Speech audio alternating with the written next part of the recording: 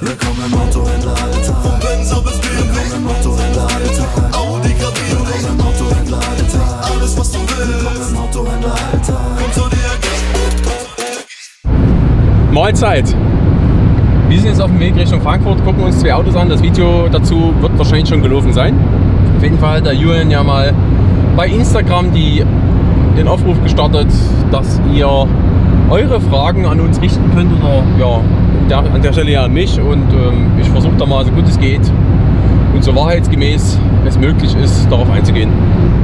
Frage Nummer 1. Wie fing es an der ehemaligen Tankstelle an? Wie viele Fahrzeuge und Personal? Da sind wir, glaube ich, 2018 hingezogen, im Oktober, glaube ich. Also jetzt genau bald drei Jahre. Mit Tom, Lisa, Christopher. Das war's. Zu viert quasi. Zu dritt. Also zu viert mit mir. Und vielleicht 50 Autos. Ungefähr. 40, 50 Autos. Mehr waren es nicht. Da war noch der Hof ziemlich leer. Können wir mal kurz ein, zwei Bilder reinschieben, wie das da aussah. Next question. Wie sieht's denn mit, äh, aus mit Pullis und T-Shirts? Grüße aus dem Osten, Peace. Äh, Mahlzeit an der Stelle. Wir arbeiten gerade dran, sind aber durch Urlaub und krank leider nie wirklich vorangekommen. Und wie ihr seht, sind wir ja gerade wieder unterwegs. Da wird also auch wieder nichts.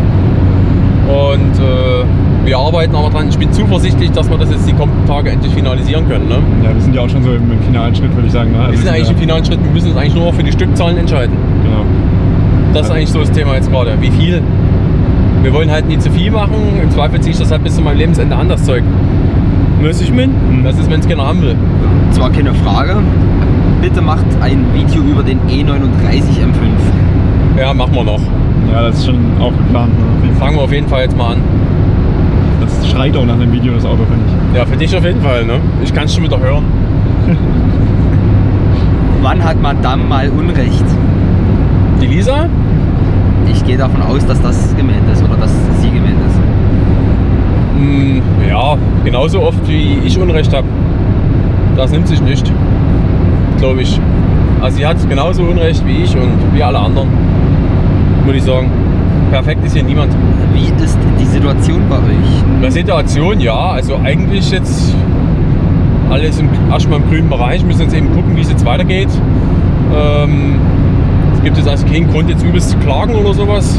Also alles gut. Sind erstmal zufrieden auf jeden Fall mit dem, was wir jetzt geschafft haben dieses Jahr.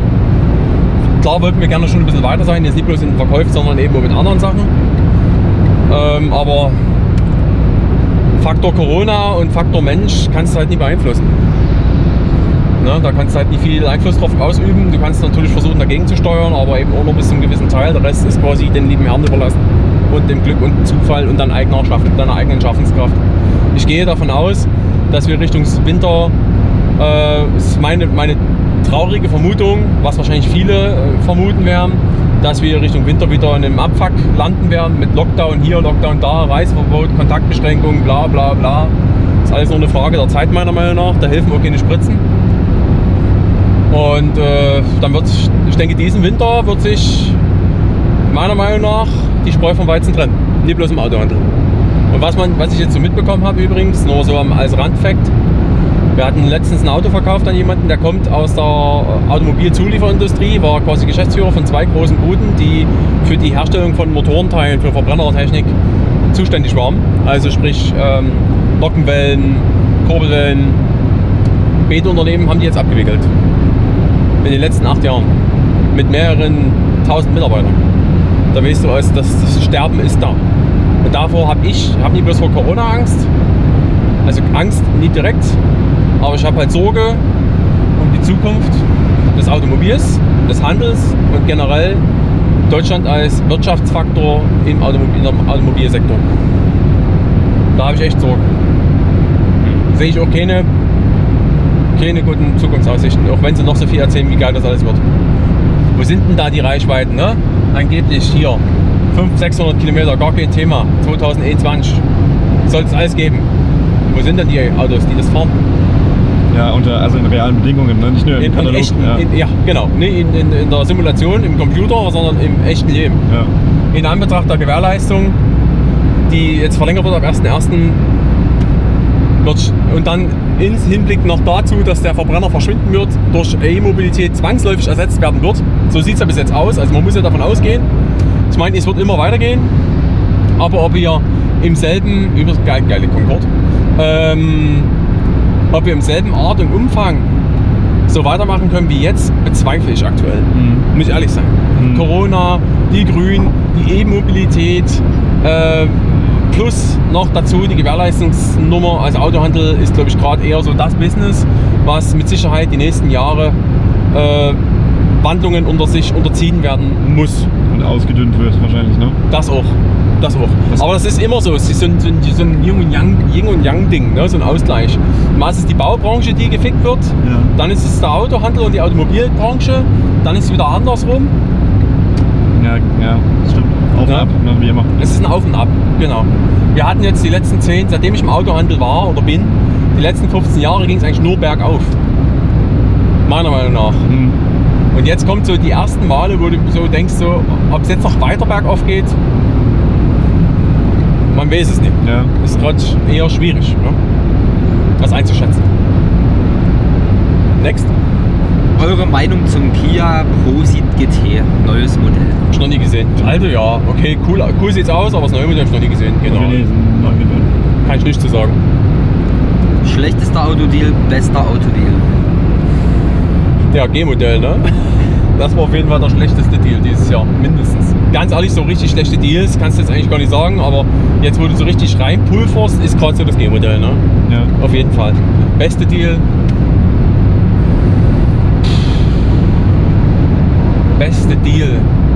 Also ganz ehrlich, vielleicht liegt es so einfach darum, dass ich halt das so fühle. Aber die besten Deals finde ich halt immer so mit Porsche. Aber wahrscheinlich liegt es daran, dass es halt äh, mir selber halt liegt, das Thema. Mhm. Das Auto. Ne? Oder die Marke vielmehr. Aber du machst auch mit anderen Autos gute Deals. Du kannst auch mit einem Skoda Superb einen guten Deal machen.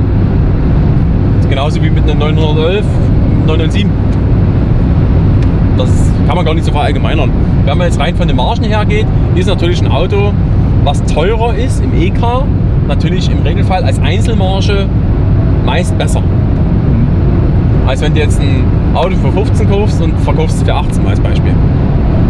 Na, wenn du so ein Ding kaufst für 60, dann möchtest du eben schon logischerweise im Idealfall, wäre halt top, wenn es klappt, das Dreifache machen dann. Weil du ja mehr Kapital bindest, wenn du Pech hast, guckst du das Ding das nächste halbe Jahr an. Und hast tolles Kapital in der Ecke stehen. Na? Nächste Frage vom selben. Würdest du Stand jetzt alles nochmal genauso machen?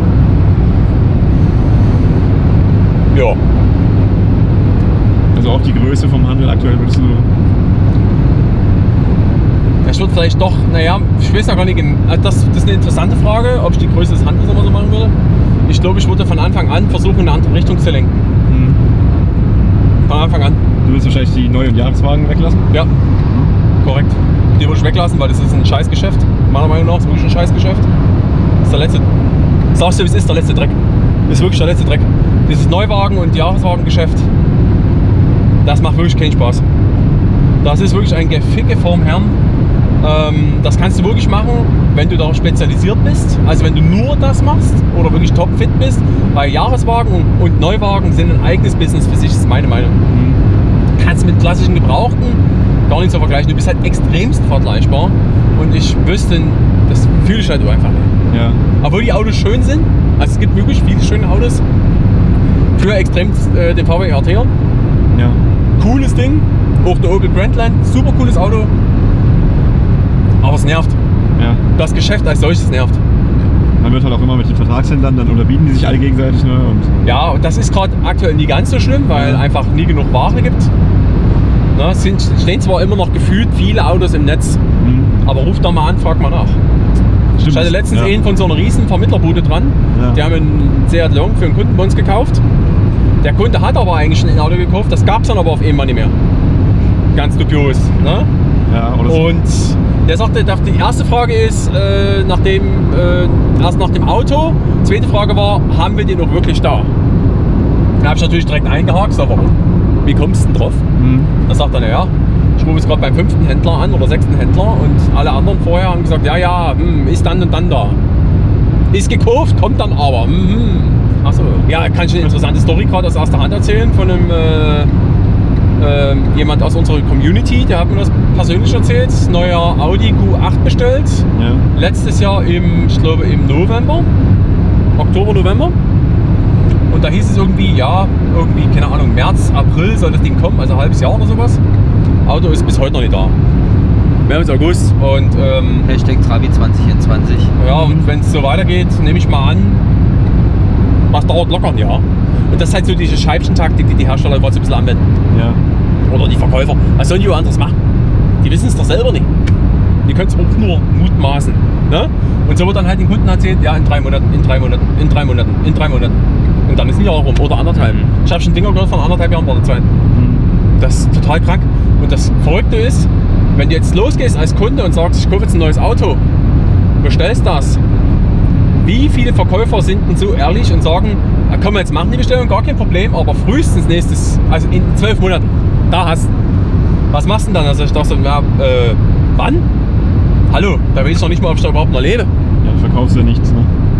Da verkaufst du nichts. Ja. Also was erzählst du? Ja, zwischen vier und sechs Monate. Weil sonst steht der Kunde auf und geht zum nächsten, der genau das erzählt, was der Kunde gerne hören will. Und da sind wir wieder beim Thema, ne, dass die Leute angelogen werden wollen.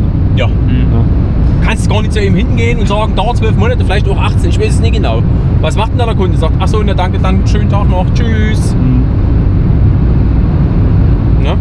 Aber es ist auch so, dass sie die Hersteller äh, Autos stehen lassen, da haben und wirklich stehen lassen, um den Markt mal so ein bisschen, ja, ich sag mal nur, du kriegst keine Nachlässe mehr, Ja. zum Beispiel. Ne? Eben um solchen Sachen eben mal ein bisschen vorzubeugen. Das siehst du auch extrem bei Audi zum Beispiel, wenn ich nach Hause fahre, stehen die Wiesen komplett voll mit Audis. Komplett. Alles. Also das ist kein... Ich weiß noch nie genau, was da der Plan ist, aber wahrscheinlich um Preise mal wieder stabil zu halten. Ja. um äh, nie mit 30% oder 35% in den Markt zu gehen. Nehme ich mal an. Ich weiß es nicht genau. Wie siehst du den Autokauf bzw. Verkauf in den nächsten fünf bis zehn Jahren? Stichpunkt Digitalisierung. Oh, das wird spannend. Also, ich sag mal, ab 1.1. ändert sich ja das mit der Gewährleistung schon mal, ne? ähm, dass die sich einfach auf 12 Monate, quasi 24 Monate verlängern. Und tendenziell sind es ja eigentlich sogar drei Jahre in Summe, was ja eigentlich angedacht ist von der EU. Also es ist einfach so. Das ist eigentlich nur ja auf Deutsch gesagt irgendwie so ein Step dazwischen noch. Ähm, Fakt wird sein, dass es ab 1.1., wir werden damit schon eher beginnen, noch wesentlich mehr Zettel auszufüllen gibt, die der Kunde unterschreiben muss. Wenn er sie nie unterschreibt, verkaufen wir das Auto nicht. So wird es werden. Und so wird es auch für alle anderen Händler werden. Ähm, es wird nie anders funktionieren. Ansonsten bist du nämlich salopp gesagt als Gebrauchtwagenhändler in der Pflicht, deinen Kunden über etwaige Updates, Software-Updates, sonstige Updates zu informieren und diese für den Kunden kostenfrei durchzuführen. In der, quasi in der gesamten Gewährleistungszeit. So kannst du mal kurz überlegen. Sprich, du verkaufst dir das Renault Klo und ähm, Renault überlegt sich, wir machen jetzt ein Update für irgendein, weiß ich jetzt nicht was, Steuergerät vom DBF oder was ist der Geier. Dann musst du das wissen und den Kunden zutragen und theoretisch den Kunden das anbieten, dass du das machst. Mhm. Und da frage ich mich noch, wie soll denn das gehen? Also für einen, das wird selbst schon für einen Hersteller quasi, also sprich für einen Vertragshändler, schon ein Ding. Aber die wissen wenigstens, was los ist. Mhm. Wie soll ich denn das als Gebrauchwagenhändler mit 20 verschiedenen Marken auf dem Hof im Überblick behalten? Das wird wohl eher schwierig. Also das ist nur ein Punkt. Da gibt es noch ein paar mehr Punkte. Und das, wenn man sich das neue Gewährleistungsgesetz oder das, die, die Erweiterung des Gewährleistungsgesetzes mal so zumindest erstmal Stichpunkt durchliest. Und wenn man das sich mal nüchtern betrachtet, müsste es da eigentlich dann aufhören an der Stelle. So, und das wird für viele auch dann ein Grund sein, zu sagen, ich ändere grundlegend was oder ich höre auf und mache was anderes. Wird es sicherlich geben. Oh, oh, oh, oh. Da spielt Geld keine Rolex. Offensichtlich. Beim Schwarzer. Ähm, wo war wir stehen geblieben? Ah ja, mit Gewährleistung und Scheißdreck. Ich denke aber, dass wir wahrscheinlich dann immer mehr verstärkt auf Agenturgeschäft, sprich in Kom Kundenauftrag, in Kommission äh, am Markt wiederfinden werden. Auf einmal sind es dann gefühlt alles keine Händler mehr, sondern nur noch Makler. Vermute ich mal. Die nächsten Jahre wird es dann zeigen, ob ich damit recht habe. ist ja jetzt schon so ein Trend da. Und ich glaube, der wird nur noch weiter zunehmen. Warum? Der Kunde wird mehr bezahlen müssen sonst fürs Auto. Also für das Auto, was ich kostet meinetwegen jetzt 10.000, kann sein, dass das Ding in zwei Jahren dasselbe Fahrzeug einfach äh, dann mit selben Parametern zwei Jahre später einfach mal irgendwie anderthalb, zwei Scheine mehr kostet. Und noch dümmer für den Kunden am Ende. Also am Ende zahlt meiner Meinung nach als in erster Linie der Verbraucher drauf. Ähm, wird auch sein, dass der einen deutlich schlechteren Inzahlungnahmewert für sein Altfahrzeug bekommen wird. Weil der Händler natürlich dann sagen wird, ja, Moment mal, wenn ich das wieder verkaufen will, der Export nimmt ihn nie. Wenn ich ihn wieder verkaufen will, muss ich das Ding 24 Monate im Zweifel gewährleisten. 12 Monate voll, danach Beweislast Umkehr. Heißt für mich, ich kann dir zwei oder drei Scheine weniger geben. Fakt wird aber sein, dass wir uns jetzt schon darauf vorbereiten, schon seit längerem und ähm, keine Autos mehr handeln, die tendenziell mehr als 90.000 Kilometer haben. Die werden wir nicht mehr an den Endkunden verkaufen. Hallo nochmal an den Turbo, den wir gerade angucken. Ja, der geht eh in Export, kann ich schon sagen. Der wird safe Richtung Frankreich irgendwohin verschwinden. Mhm. Bin ich mir ziemlich sicher. Und das, was die Franzosen jetzt am Markt weggeholt haben, allein nur bei uns, unglaublich. Haben wir noch nie gehabt, so extrem. Mhm. Ich weiß nicht, ob dort irgendwie die, ob dort der Geld, die Geldscheiße vom Himmel gefallen ist oder was, ich habe keine Ahnung. Ich kann es mir nie erklären. Und was ist mit, weil er gefragt hat wegen Digitalisierung, also das Verkaufen allgemein? Ja, also das Online-Geschäft. Ne? Siehst du ja Auto Hero und Co. Ja. ähm, mit äh, hol dir doch irgendwie einen Gebrauchten vor die Tür und äh, und ich sagte, sagte, was, wer sich jetzt fragt, wie funktioniert das? Ich sagte so, wie es ist. Und das ist dieses Online-Ding. Und das funktioniert Tatsache. Jetzt hat irgendein Kunde XY bestellt sich bei Auto Hero so ein Ding online. Irgendein, sag ich mal, wir nehmen jetzt mal den Audi, ich weiß gar nicht, was haben die in der Werbung Q2 oder so? Glaube ich, wo die mit, diesem Glaskastenauto rumfahren, was es ja wirklich gibt. Gibt es nicht auch einen Golf 8 und so? Ja, wie auch immer, ist ja scheißegal. Ja, ja. Jedenfalls, die bestellen jetzt einen Q2. So. Ja. Das Ding kommt vor, vor die Tür geliefert, die haben, glaube ich, 21 Tage, also sprich drei Wochen Rückgaberecht. Aber eine kurze Frage, wenn du das eh weißt mit dem Glaskastending, ähm, wie läuft denn das wirklich? Kommt da nicht einfach so ein. Nee, kommt ein Glaskastenauto mittlerweile. Wirklich? Ja, ja, mittlerweile. Mittlerweile haben sie die. Okay, krass. Ja. Diese Krafter, Dreiachser Ja, Sprinter, glaube ich, ne? oder so, ne? Mhm. Ja, okay. Mittlerweile sind die auch wirklich da. Fand ich auch extrem wichtig, weil wenn du damit wirbst, muss diese scheiß Karre auch draußen rumfahren. Ja, weil ich dachte, Ja. die werfen das einfach vom, vom Hänger ab, so weißt du, vom Nee, nee, Transporter. das Ding fährt wohl draußen rum. So, und jetzt kommt was auf. Was ist die, die Geschichte dahinter? Jetzt kommt das Auto abgeliefert, der Kunde guckt sich das an und sagt, ach, hier ist doch noch ein Kratzer. Er riecht da doch ein bisschen nach hoch. Was macht er denn? Was denkt ihr, was der machen würde? Was denkt ihr? Schreibt es mal in die Kommentare. Das Auto hat meinetwegen doch noch zwei Kratzer und riecht nach hoch und hat ein Brandloch. Mhm. So. Was machen die? Die holen das Ding wieder ab. Wäre ein Punkt, genau. Würde also wahrscheinlich gehen, problemlos. Was wäre der zweite Punkt? Tauschen gegen andere aus. Genau, richtig. Na, und der Preis- dritte ist, Preisnachlass. Genau, und der letzte, die nimmst trotzdem. Und weißt du, was sie machen? Mhm. Nimmst trotzdem. Aber echt? Mhm. Weil wir haben ja mit Lieferungen so die Erfahrung gemacht, Wir dass haben- die sehr Genau, weil wir, waren und so. Und ja, weil wir halt greifbar sind ja, und ein physischer Händler, den es wirklich gibt, ja. das wiederum, und das ist jetzt diese psychologische Scheiße dahinter, ähm, das ist ein Online-Handel. Hm. Und bei einem Online-Handel, was bedeutet das? Was verbindest du mit Online? Warum bestellen die Leute online? Na, einfach. Einfach und? Bequem halt. Ja, und? Günstig. Ja. günstig. Und wenn die dann am Auto stehen und sind in Kratzer und denkst, ah, naja gut, aber dafür war es billig. Wo ist das am Ende vielleicht gar nicht wahr? Na eben, ne? Mhm. Ja? Aber das ist, das ist diese, das ist im Gehirn drin. Es ist online gekauft, es ist günstig. Gibt bestimmt auch die, die dann sagen, hau ab, verschwinde nicht mit die Scheiße. Mach ich eh mal und nie wieder. Aber nur mal so als Randinfo, wer ein Auto fernab kauft, hat eigentlich beim Händler, wenn er einen seriösen oft einen Kaufvertrag bekommt, alle Trümpfe in der Tasche.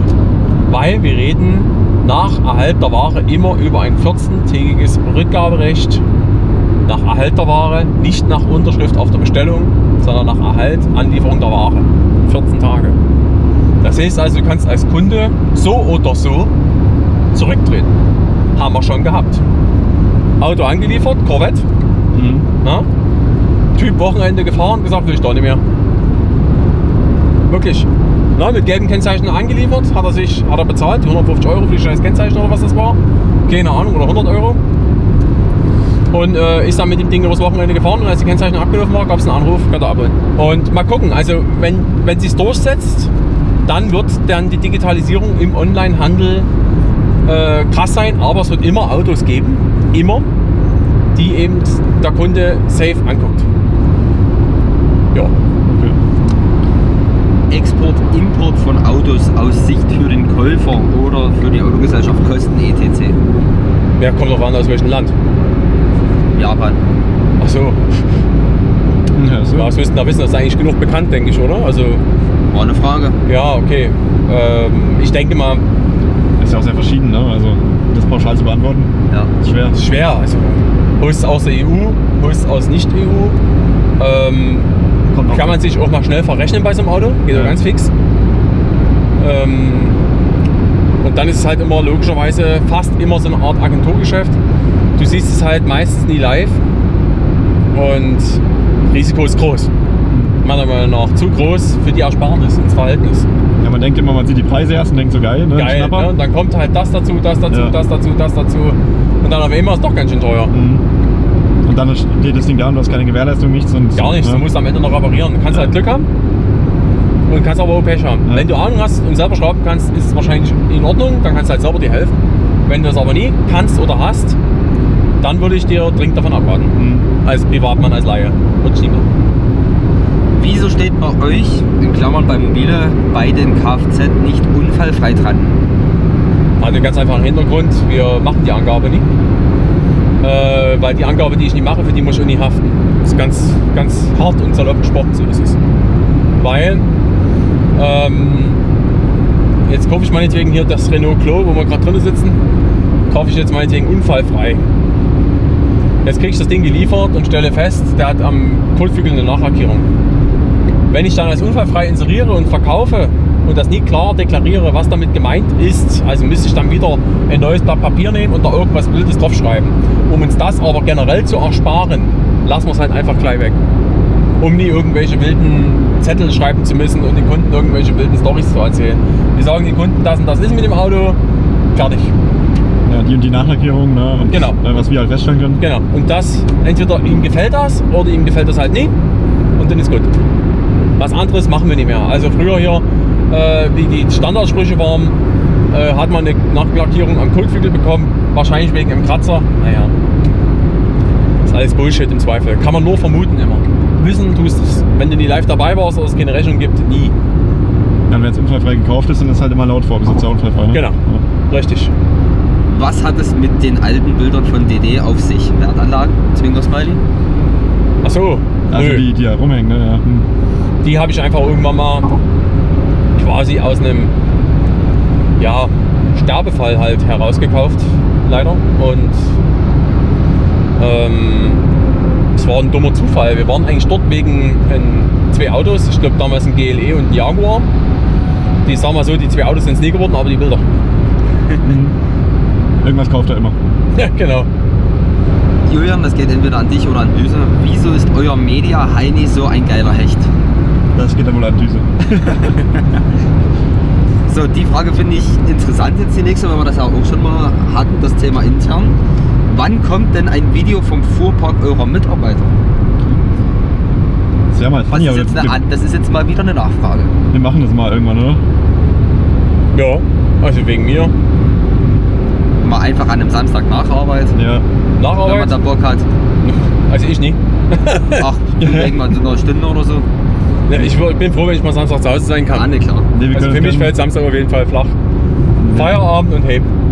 Aber wir können das ja lustig aufziehen, irgendwie, dass wir so quasi irgendwie jeder sein Auto so irgendwie vorstellt oder keine Ahnung, oder irgendwas damit machen oder keine Ahnung. Ja, Was für ein Auto stellst du da jetzt eigentlich genau dann vor, Gut jetzt. Ja, kann man machen, aber mein Fahrrad. ich glaube, da haben wir noch so ein, zwei andere Sachen, die wir mal unbedingt machen wollen. Aber das kommt oft, also sogar, also es ne? kommt relativ oft mittlerweile. ja. Echt? Okay. Das teuerste je verkaufte Auto bei euch? Ja, war mal, glaube ich, ein Audi. Nee.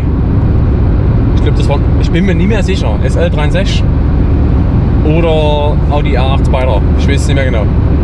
Lagen beide um die 100. Und halt der Lambo, ne? Vom Ja, stimmt. Ja, ein Aventador stimmt, das war noch. Der lag auch bei 250, ne? Wobei der nicht verkauft wurde, sondern wieder Der Ja. ging dann zurück und dann hat der Besitzer das Auto für ein Geld verkauft, wo ich sage, naja, hm, das hätten wir schon vor ein paar Monaten haben können oder beziehungsweise das ist, auch- manchmal ist das erste Angebot das Beste, ehrlich.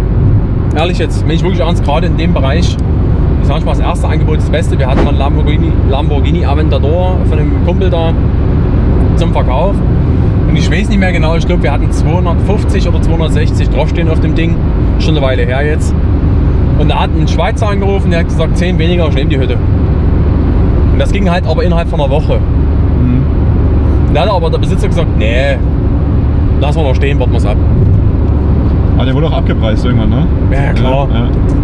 Der hat ihn dann für, ich nenne jetzt mal nie die Zahl, die ich kenne, aber der ist für deutlich weniger dann weggegangen. ja. Welche Marke verkauft ihr am meisten im Jahr? Porsche. Gefühlt. Ja, jetzt siehst du ja auch relativ viel Richtung Porsche, das stimmt schon. Äh, aber es ist, glaube ich, immer noch Audi Mercedes. Schon noch Spitzenreiter. Ja. ja. Ja, auf jeden Fall. Also Mercedes, Ich wollte gerade sagen VW zwischendurch wegen den ganzen Antions ja, so. VW war viel noch zwischendurch und die ganzen Passat und so, aber ich glaube mittlerweile ist es schon eher Benz, ne? Ja, die ganzen C-Klassen und so, ne? Massenweise. E-Klasse, C-Klasse, Ja, viel verkauft von den Dingern. geht immer. Wo steigt man so ein für einen W124 bei euch? Finanziell? Durch Wahrscheinlich. Ansonsten durch die Fahrradtür in erster Linie. Nee, alles gut. Ähm, kommt aufs Auto drauf an. Coupé, Cabrio, Kombi, Limousine, Benzin, Diesel. Ich würde Du kannst ja 124er fahren für 3000, du kannst 124er fahren für über 30. ich würd sagen, du kriegst, wenn du jetzt nicht gerade ein Coupé oder irgendwas mit großem Motor willst, so ab 7, 8 kriegst du einen guten, würde ich sagen, oder? Brauchbar, Ja. brauchbar, ne? So dass du sagst, es geht, ne? muss ich nicht erst noch übelst rumschweißen und reparieren, sondern fährt ne? und sieht gut aus. Also wenn du hier irgendwie einen 320er haben willst als Coupé, Ja. da sind immer schnell 20 weg. Für was. Gutes. Wohin müsste Asti Bier und Süßigkeiten an euch geschickt werden? Mit drei Fragezeichen. Achso, na, äh, an die Hauptstraße 1 in 01809 Heidenau. Dann kommt das theoretisch auch bei uns an. Vielen Dank. Man hofft. Die größten Vor- und Nachteile eines Autohändlers.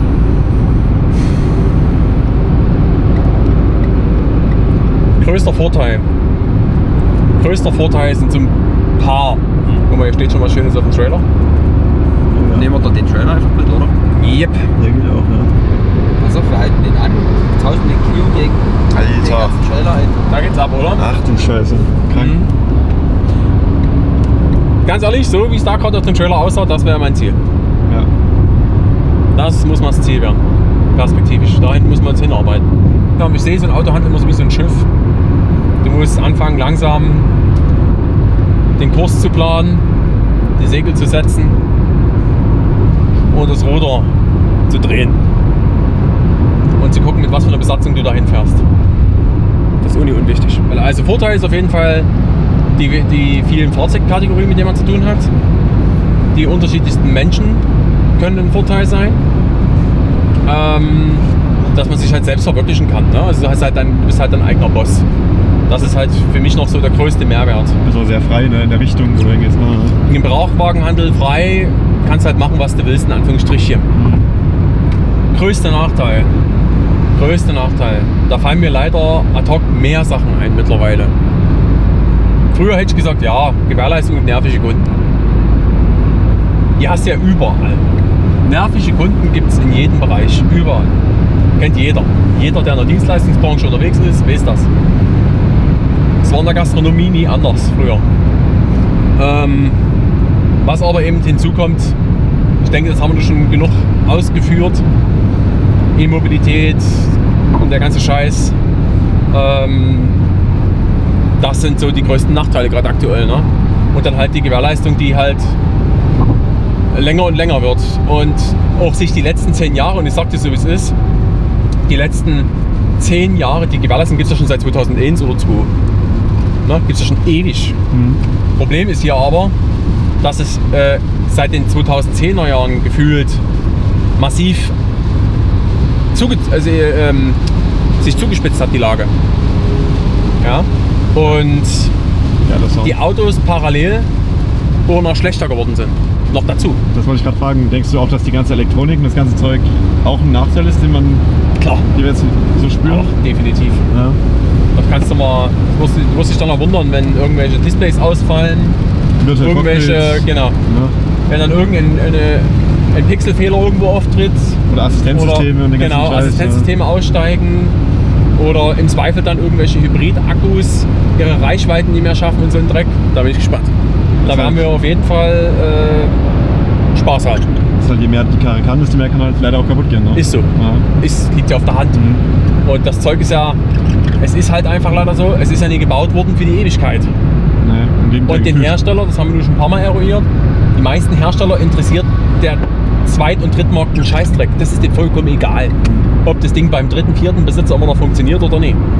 Das ist doch völlig Wurst. Na? So, next question. Wie sind abgeschlossene Gewährleistungsfälle beziehungsweise was beispielsweise ausgegangen? Abgeschlossene Gewährleistungsfälle, die sind abgeschlossen. Ja, wie sind die ausgegangen? Teuer? Nee, also im Regelfall haben wir eigentlich alles geklärt gekriegt. Bis jetzt. Es gibt nur manchmal einfach Kunden, ich sage jetzt mal nur Müllauto zum Mitfahren. Der kriegst es, der kann, da kannst du machen, was du willst, das wirst du nie hinbekommen.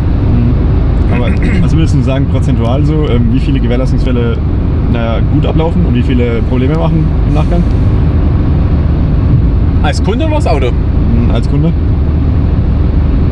Das sind doch die wenigsten dann doch im Endeffekt, oder? Also vieles klappt doch dann. Klappt schon ganz gut, das meiste, muss man sagen. Liegt aber auch daran, dass wir versuchen, auch wirklich hinterher zu sein. Mhm. Und ich denke, und das meine ich auch, ich sehe es auch tagtäglich im eigenen Leben oder nahezu tagtäglich, wenn ich so das mal mit großen Unternehmen vergleiche, die aber Milliarden haben gefühlt, wie du da behandelt wirst, wie so eine Fotze. Ja? Und was wir für ein Bückling machen für unsere Kunden, muss ich ganz ehrlich sagen, ähm, auch wenn es manchmal länger dauert, aber wir kümmern uns. Wann kommt dein Video zur Einkaufsfinanzierung? Ja, das ist eine gute Frage. Das Problem ist, dass die Banken mehr oder weniger, wenn dann, wenn ich schon irgendwie was zeige oder erkläre oder versuche, was zu erklären vielleicht, sag es mal lieber so, ist ja nicht, dass alles, dass alles stimmt, was ich sage oder ich zwangsläufig recht haben muss. Das ist einfach nur meine dann Erfahrungswerte oder meine Einschätzungen. Punkt. Kann es halt passieren, dass du äh, der einen oder anderen Kreditinstitut auf die Füße trittst. Das ist ein Punkt. Und wenn, dann müsste man alle gleich behandeln. Äh, wenn, dann will ich ja schon so ins Detail gehen, dass man auch mal Zahlen und Fakten zeigen kann. Und dafür bräuchtest du eigentlich das Go von der Bank. Und rat mal, was die Banken meistens nicht machen. Das Go geben. Deswegen könnte man es nur so umreißen. Vielleicht mal so ein Video mit so Grundlagen, quasi so wie das Grundwissen. So. Autohandel Grundwissen? Ja. Ja. Gut, der gehört, eigentlich gehört da erstmal nie viel dazu. Verstehst du was von Autos und bist ja, aber so ein paar Begrifflichkeiten oder so vielleicht mal erklären. So. Ja, das könnte man natürlich schon mal machen irgendwie. Da müsste man aber mal gucken, was jetzt interessant ist. Mhm. Könnt Ja. mal in die Kommentare schreiben, so was für Begriffe man vielleicht mal. Über Autofinanzierung oder Absatzfinanzierung oder Einkaufsfinanzierung kann man stundenlang wahrscheinlich drüber ähm, ausführen und auseinandernehmen und analytisch betrachten die ganze Scheiße. Ne? Ähm, was man auch sagt, ganz ehrlich, jetzt ist meine, meine Meinung und dabei bleibe ich auch, ich sagte es ist 80% der Gebrauchwagenhändler in Deutschland haben keinen genauen Überblick ihre, über ihre Gesamtkosten. Die wissen also meiner Meinung nach nicht genau, was sie im Monat tagaktuell ausgeben. Also hinterfrag dich jetzt mal, hättest du jetzt, jetzt mit einem Knopfdruck deine Kosten, die du jetzt, Stand heute produziert hast, schwarz auf weiß? Also ich hätte das nicht mal privat. Ich sehe so einen Autohandel, hast du ja schon gesagt, wie so ein großes Schiff. Umso mehr Autos da sind, umso mehr Mitarbeiter, umso größer ist das Ding. Also bist du entweder auf der Queen Mary 2 unterwegs oder auf der Titanic. Das, kannst, das liegt an dir. Und wenn du deine Zahlen nicht kennst, siehst du den Eisberg nicht. Gerade in Zeiten von Corona. Mhm. Das kann ich dir garantieren. Du bist schneller abgesoffen, als du B sagen kannst. Wenn du deine Zahlen im Blick hast. Bin, davon bin ich überzeugt. Du musst deine Zahlen kennen und wissen. Und das ist halt das Traurige an der ganzen Sache. Du musst heute im Autohandel, im Gebrauchwagenhandel mehr denn je erkennen können. Und Alter. Ähm, wo, was für ein Pfeil auf dich zufliegt. Hm. Ein Kumpel aus Berlin, der auch in der Auto, im Autobusiness ist, mittlerweile ziemlich groß, hat ihm gesagt, du musst den Pfeil fliegen sehen, bevor er dich trifft. Ich persönlich bin anti-Schiebedach und anti-getönte Scheiben bei Autos. Wie, sieht, äh, wie seht ihr das? Geschmackssache. Ich bin auch kein Schiebedach-Freund, mach die Scheiße eh nie auf. Aber getönte Scheiben ist schon geil. Getönte Scheiben nervt. Ja, sieht geil aus. Beim Kombi sieht es einfach gut aus. Ja, also gut, Fakt, sieht besser aus meistens, meistens, ja. muss man wirklich sagen. Und Fakt 2 für uns, Kind. Ansonsten, getönte Scheiben sehe ich eigentlich nur Nachteile. Meiner Meinung nach. Weil, ähm, einparken zum Beispiel im Dunkeln, in der dunklen Straße, es regnet, Sackgang. Wie oft ich das schon hatte, denke, oh Alter, wo ist jetzt die andere Karre? Gut, 360 parken jetzt, 360 Kamera, egal. Kann die Scheibe schwarz sein, ist Wurst, siehst du alles schön. Aber ich habe das schon öfters gehabt, dass schwarze Scheiben dann eben echt gestört haben. Vorteil, schwarze Scheibe auch, und das hilft wirklich was. Äh, Innenraumtemperatur im Sommer ist safe ein Unterschied. Hm. Definitiv. Hilft wirklich Wirtschaften. Aber im Endeffekt Geschmackssache. Geschmackssache. Schiebedach würde ich auch sagen, überbewertet. Eure Erfahrungen zwischen normalem und Ultimate Diesel? Also um ehrlich zu sein, ähm, glaube ich, dass Mehrleistung beim Ultimate Diesel kann ich gar nicht mitreden. Äh, was auch gefühlt zu stimmen scheint, ist halt eine bessere Verbrennung. Ne? Also du kommst Mhm. mit dem Ultimate Diesel, ich habe das früher ab und zu getankt, das Gelumpe, äh, gefühlt weiter. Und ich habe auch, es ist mir so damals gegangen, also bei meinem 211er, 270 CDI, hatte ich den Eindruck, wenn ich eine Weile Ultimate Diesel gefahren bin, ähm, da hatte ich den Eindruck, dass der weniger stinkt. Mhm. Nicht mehr so, weißt du, so der typische Dieselgestank. Ne? Wie beim Q, äh, Q7 V12. Und übrigens, nee, da hat sich der DPF nicht generiert. Die Kiste macht einfach 6 Liter, 12 Zylinder. Diesel machen einfach Hitze. Und zwar gewaltig. Wann gibt's mal wieder ein Auto-Kaufen-Video? Jetzt. Jetzt gerade. Wie zufrieden ist Enrico mit seinem neuen BMW G21? Was? Keine Ahnung. Hast du uns noch was zu erzählen? Oder? Hast du einen G21 gekauft? Ja. Und Hä? Autos von Zuschauern bewerten. Ist zwar keine Frage, aber Könnte man machen. könnte man mal machen. Ja. Was jetzt so klassische Inserate, ne? ne, entweder so oder halt einfach so aus. Das habe ich mal bei, bei manchen Hamburger YouTubern schon gesehen. Ja, genau. ne? Das, da, daran dachte ich jetzt nämlich auch. Ja. Dass die uns irgendwie drei, vier, fünf Bilder vom Auto schicken, Genau. außen in. Und wir Machen die halt das, ja? dazu Ja. verlieren. Was, die gucken sich die Karre an und sagen dann, was sie dazu denken, Ja, oder ja, was? genau. Aha. Könnte man machen, ja. Aber- ich nie uninteressant. Ich würde sagen, da machen wir dann genauso wie hier so einen Aufruf mal, dass wir jetzt nicht Ja. aus dem Nichts alle Bilder kriegen, sondern wir Na, Einfach mal eine Instagram-Fragerunde. genau ja, nein. explizit mal danach. Ne? Genau. Jo. Was machen wir gegen die Preisgestaltung von mobile.de? Oh ja, Eine interessante Frage. ein Aufstand, jawohl. einen Aufstand proben. Also ganz ehrlich, ne?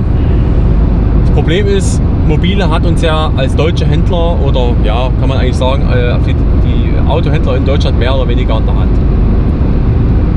Du könntest höchstens eins machen. Zum Beispiel, ich sage jetzt einfach, schau jetzt einfach mal raus, wenn JP zum Beispiel sagen würde, aufrufen würde dazu zu sagen, mobile.de zu boykottieren und es wirklich die meisten machen, oder ich sage wie es ist, die Leute den Aufruf wirklich parallel Schulter an Schulter Folge leisten würden, hätten die komplett keinen, Nährboden mehr. Ja, gut, aber JP würde rechtlich komplett belangt werden dafür. Weil, Ja, wegen übler Nachrede oder sowas, genau. Nachrede, Oder halt, weißt du, wegen. also du bräuchst ganz ehrlich, ich sag das so wie es ist, der Händler, der in Deutschland eine Reichweite jenseits der Millionen knackt, mit einem Autohandelkanal, der hat die Macht. Sagst du so wie es ist. Davon bin ich überzeugt. Ja, kann den Markt Da, beeinflussen. da, Ja. du beein- da beeinflusst du den Markt. Ja. Das siehst du doch, wie äh, große Auto-YouTuber sagen, das und das Auto ist geil. Und ein paar Wochen, Monate später die äh, Zulassungszahlen ansteigen. ja, und ich sag Oder mal, die Bestellung. CL-Preise auch. Die alten CLs. Na klar. Nach Maximilians ja. Video. Und da haben die YouTuber, das sind, da reden wir vielleicht über YouTuber, die haben in Summe, also zusammen, das sind ja mehrere, die über das Thema äh, geredet haben oder Videos gemacht haben, wie sie vielleicht, sagen wir mal, 600, 700.000 Abonnenten in Summe. Und guck mal, was die für eine Marktmacht zusammen schon hätten. Ja. Wenn die irgendein Auto geil finden und darüber regelmäßig Videos machen, was denkst du, was da passiert? Und dann lassen wir bloß 1% davon das Auto kaufen. Das ist halt das Krasse an YouTube. Du hast mit YouTube meiner Meinung nach ab einer gewissen Größe eine nicht zu unterschätzende Marktmacht. Du kannst Sachen aufbauen mit YouTube, also sprich Sachen promoten, die dir später im Zweifel was nützen, du kannst aber auch damit zerstören. Mhm. Wenn zum Beispiel ein großer deutscher Auto-YouTuber äh, sagen würde, das und das ist scheiße. Ich sag nur ganz kurz, der Kollege Fußballer, der einfach mal die Cola zur Seite schiebt, was ist dann passiert? Mhm. Wer kann sich daran erinnern? Ist noch nicht so lange her. Hm. Googelt's mal, wer es nie weiß. Aber Da hat sich ne? der Cola-Hersteller gefreut. auf jeden Fall. Das nenne ich Marktmacht. Ne? Natürlich brauchst du dich nie äh, gegen mobile.de stemmen und sagen, Jungs, was ihr macht, ist einfach scheiße. Lasst mal eure Online-Seminare und eure komischen Schulungen, lasst die Scheiße einfach mal weg und macht mal was Gescheites für die Händler. Spart euch das Geld, was in den Dreck steckt und macht mal was Ordentliches bitte. Ja, nie so ein Scheißdreck. Hm. Ja, diese Webinare, da habe ich mir, glaube ich, mal ein oder zwei angeguckt und habe mir gedacht, Alter, krass, mach ich wieder aus. Das ist Lebenszeitverschwendung. Kümmere ich mich lieber um Mailanfragen und Kunden, als um diese Scheiße da zuzuhören. Also ich weiß nicht, wie ihr das seht, aber mir persönlich gab es jetzt keinen krassen neuen Mehrwert, den ich nie vorher schon in Weibach äh, wusste. Und ja, eine Produktschulung für mobile.de, ja super. Da machst du mal eine und vielleicht noch mal eine zweite und dann hat sich's. Aber am Ende kann ich mich auch einfach durch das scheiß Ding durchklicken und Weißt du Bescheid? dann weißt du auch irgendwann nach einer Stunde Bescheid. Ja. So ist es ja, also nur kein Hexenwerk. Also ich finde, um ehrlich zu sein, was mobile.de macht, ist ein schwacher Kurs. Ist meine persönliche Meinung, ich bin nicht zufrieden. Ich mag auch mobile.de mit ihrer Preispolitik, bin ich überhaupt nicht einverstanden. Viel zu wenig Leistung für viel zu teures Produkt meiner Meinung nach. Und jetzt nur mal so am Rande. Wir knallen zwischen 2.500 und 3.000 Euro im Monat raus für mobile.de. Nur für mobile.de. Im Schnitt. Das ist kein Quatsch. Das ist schon heftig. Und wenn man mal überlegt, was sie dafür für dich tun, du darfst dein, deine Autos darauf inserieren, du hast so eine komische Kasper-Seite, wo du ein bisschen dein Unternehmen präsentierst und drei Bilder das hochladen und irgendwie 1000 Worte schreiben oder sowas. Das war's. Und dann hat 30 mobile.de und schätzt deinen Preis ein und sagt, es ist zu teuer oder zu billig. Ja. Ne, diese Preisampeln sind ja sowieso. Und weißt du, was der Knaller ist, wenn du jetzt als Privatmann ein Auto inserierst? Haben wir jetzt schon ein paar Mal jetzt erlebt, ne? Mischt sich mobile.de ein und sagt zum Privatmann, du bist zu billig oder du bist zu teuer. Stimmt. Ist wirklich so. Ja. Und dann gibt dir mobile.de vor, wie die dich so annoncieren lassen. Auf der einen Art und Weise finde ich das in Ordnung, wenn die Endkunden mit ihren Preisen nie durch die Decke gehen. Aber es muss der Endkunde doch selber wissen dürfen, was er aber jetzt 30.000 oder 40.000 Euro für sein Auto haben will. Ja. Das soll er doch selber entscheiden können. Da muss doch nie der mobile Heini sagen, hier ey, 29,90 ist jetzt hier der Preis. Haben wir erst, ne? Z4, ja. Kein Quatsch. Der wollte das eigentlich für 3000 Euro mehr inserieren, durfte aber nie, weil mobile das nicht freigegeben hat. Das ging nicht. Nein, es ging nicht. Der konnte das so. Auto nicht Es ging nicht. Ich dachte, die schlagen Und das da nur kannst du vor. mal sehen, Nein. die benehmen sich wie die Axt im Wald, die Kollegen. Mhm. Ehrlich. Krass. krass. Finde ich komplett krank. Das ist ein komplett krankes Verhalten. Kann ich nicht nachvollziehen. Und ich kann auch nicht verstehen, wie man als seriöses Unternehmen so agiert. Ich finde es komplett unseriös. Ja. Und da freu, ich würde ich es begrüßen, wenn Autoscout wieder mehr in Fahrt kommt. Das würde ich wirklich begrüßen. Weil die sind mir noch liberaler und menschlicher. Da gibt es wenigstens noch einen Gebietsleiter, der auch mal draußen unterwegs ist, mit dem du immer was lernen kannst. Ja, bei mobile.de kannst du für 3000 Euro in irgendeiner Hotline anrufen, wo es gefühlt, gefühlt, das ist meine eigene Erfahrung, einfach mal jeden Scheiß egal ist. Ja, obwohl du Premium-Kunde bist. Ne? Obwohl du Premium-Kunde bist und einen Haufen Geld jeden Monat bezahlst. Wir reden hier in Summe von rund 36.000, 40.000 Euro im, Monat, im Jahr, wo es einfach mal komplett nie interessiert. Und dann wirst du das noch das nächste, wenn ich immer dabei bin. Alter, und dann stellen die auch jed, gefühlt jeden zweiten, dritten Monat ihre Seite um. Und lassen sich wieder was Neues einfallen. Um es noch verwirrender zu machen. Da machen sie jetzt LED-Scheinwerfer hier, ja, Xenon da und B-Xenon dort. Ja, das macht gar keinen Sinn. Das macht richtig Ja. Komplett. Ja. Wer hat das gemacht? Oh, hast du den Kampfjet gesehen gerade? Mhm. Alter! Wie war der Fahrzeughandel nach der Wende? Äh, der Gott kann ich ja nie mitreden, weil ganz so alt bin ich dann doch noch nie und noch nie so lange im Geschäft. Also ich kann nur das wiedergeben, was man mir aus erster Hand erzählt hat. Von äh, Gebrauchtwagenhändlern quasi Tag 1 fast. Und Das hatte mit Handel nichts zu tun 1990 äh, nach Öffnung der Grenzen, sondern das war ein Verteilen. Also ich kenne äh, habe einen Autohändler kennengelernt auf der Bodenbacher Straße, die gibt es heute noch. Die gibt es eben schon seit 1991 oder sowas, oder 1990 haben die angefangen, auf dem Platz sogar, glaube ich. Und äh, da stand der LKW da mit acht Autos beladen und unten standen irgendwie 30, 40 Leute, die sich am LKW noch überboten haben, wer welches Auto kriegt. Also was für Autos so? Irgendwelche Westautos? Scheiß halt. Irgendwelche abgerockten Na genau. Westautos? Ne? Irgendwelche abgeranzten Westautos, die quasi schon gefühlt auf dem Schrottplatz eingestanden, Ja. die dann hier zu Höchstpreisen verkauft wurden. Und auch da ging ja der Markt bei den Wessis drüben in den Arsch. Auf einmal war ja jedes Auto wieder was wert. Mhm. Die ersten 1991, 92, 93 war gefühlt jede Schrottkarre was wert. Ja, ja. Ging in den Osten, haben die Ossis gekauft, die Idioten. Die hatten natürlich wiederum von der freien Marktwirtschaft nicht so viel Plan. Deswegen sind die natürlich die ersten Jahre, die Bürger hier, äh, glaube ich, den einen oder anderen ordentlich auf den Leim gegangen. Na, weil, wenn du es nicht kennst. Mhm. Und ähm, damals war auch Autohandel wohl noch ein Mann im Wort. Ne? Verträge geschrieben wurden da im Regelfall gar nicht. Handschlag und so. Anschlag, Kohle, Papiere und Schlüssel. Fertig. Ich glaube, die ersten Finanzämter so richtig etabliert wurden die erst 93, 94. Bis dahin war im Autohandel, glaube ich, alles möglich. Da konntest du wirklich ganz schnell schnelles Geld verdienen. Und wär ich, wenn, ich, wenn mir einer eine Zeit, also eine, eine, eine Zeitkapsel bauen würde, ich wüsste genau, in welches Jahr ich reisen, reisen würde, mit dem Wissen von heute. Mhm. Ich bräuchte nur 10.000 Mark Startkapital. Ich wüsste genau, wo ich anfange. Ganz genau. Wäre interessant, wo du dann heute wärst, wenn du da, da angefangen hättest. Ne? Du, da gab es einige Händler, auch in Dresden, die haben richtig, richtig, richtig mitgenommen. Die haben am Tag, ging Quark, 30 bis zu 30, 40.000 D-Mark verdient. Am Tag. Ja. Sind aber auch daran kaputt gegangen. Alkohol, Drogen, Spielsucht, Weiber. Plant ihr noch weiter zu expandieren mit neuem Standort ETC? Nee. Die kürzeste Frage. Die ganz kürzeste Antwort. Macht keinen Sinn. An dem Punkt war ich schon. Größer, höher, schneller, weiter war ich schon. Nee, danke.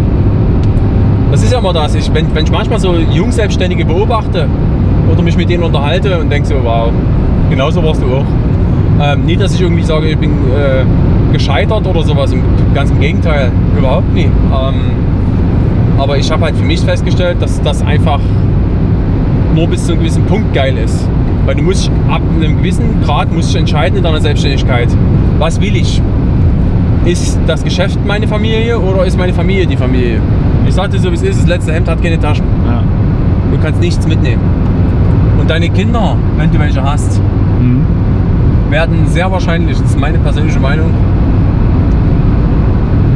über Millionen, die du vielleicht hinterlässt und tolle Häuser und weiß nicht was alles, nie so dankbar sein als äh, eine schöne Zeit mit, mit ihrem Vater, mit ihrer Mutter oder mit ihren Eltern.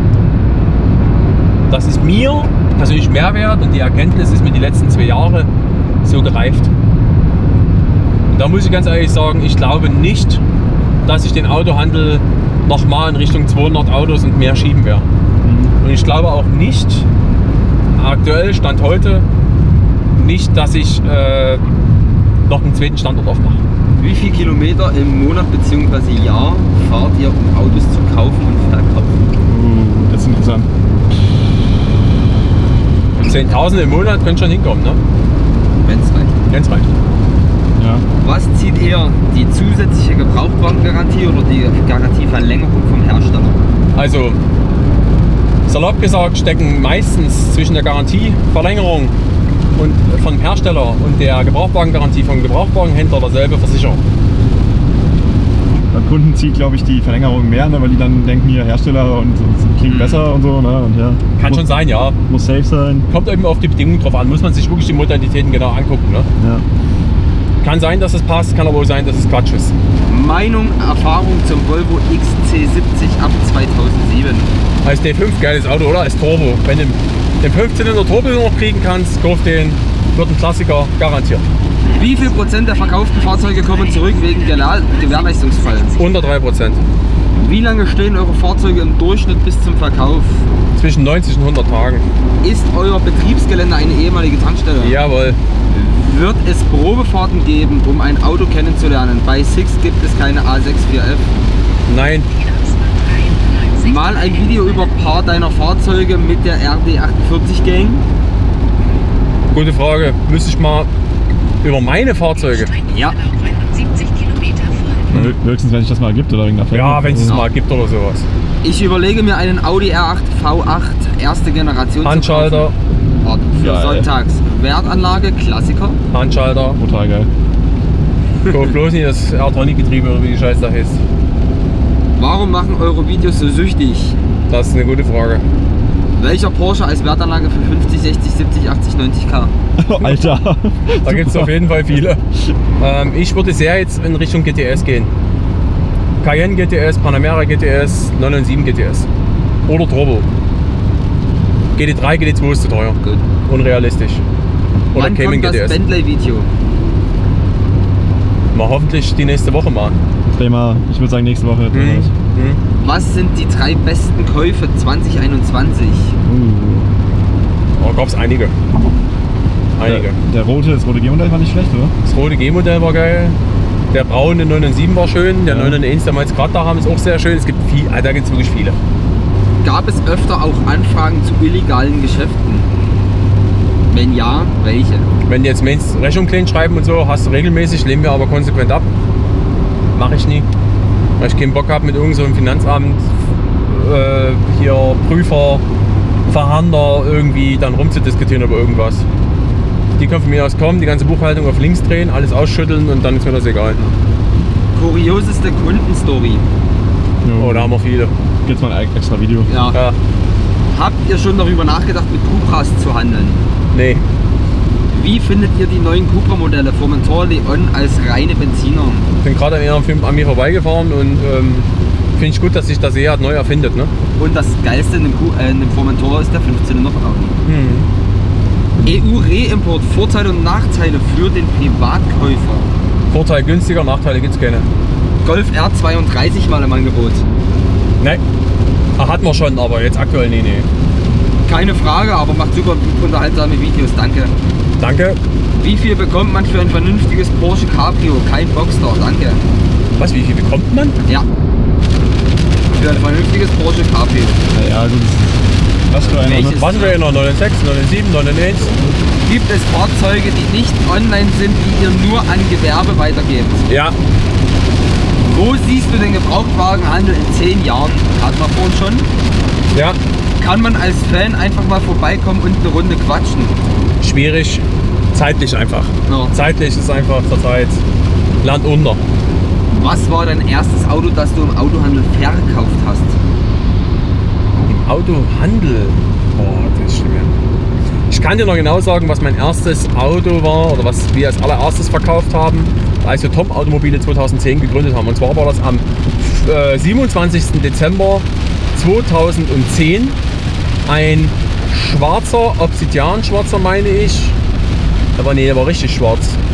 Der war auf jeden Fall richtig schwarzer W210 230er Automatik, Benzin. Mit 87, 86.000 Kilometer runter aus Baujahr 96 oder 97. 997 GT3 als Investition in die Zukunft sinnvoll, Ja, auf jeden Fall. wenn du das Geld hast, dir ja. hinzustellen. Ja. Wie kommt ihr immer an eure Gebrauchtwagen? Spezielle Börsen? ja, oder über unsere Abonnenten mittlerweile ja auch zum Teil. Ne? Also über unsere Community. Geil wäre, wenn ihr uns so viele Facts wie möglich da mitteilt. Also sprich, immer wichtig sind Erstzulassung, Fahrgestellnummer ähm, und Kilometerstand. Und die Preisverstellung wäre halt hilfreich. Da kann man gleich ein bisschen taxieren. Und weiß gleich, okay, passt, passt nie. Weißt du, ich meine? Ist der M5 V10 noch da? Nein. Die sind verkauft? Echt? Ja, nach Frankreich? Alter, krass. Gar nicht mitgekriegt. Ich auch nicht. Ich auch nicht. Gut, da haben wir es durch. Gut, Freunde, es war wieder mal, äh, mir, mir war es ein Fest. Vielen Dank für eure wirklich äußerst interessanten Fragen. Auch teilweise sehr komplex und sehr durchdacht. Muss man jetzt mal so sagen. Ich hoffe, ich konnte einigermaßen beantworten. Bin vielleicht mal wieder ein bisschen abgeschmiffen vom Thema. Und vielleicht habe ich auch wieder zu sehr Stimmung gemacht gegen diverse Vereine. Aber ich denke, man sollte sich, auch wenn man ein kleiner Pimmel ist, so wie ich das bin, äh, nie jeden Scheiß gefallen lassen müssen. Bis bald.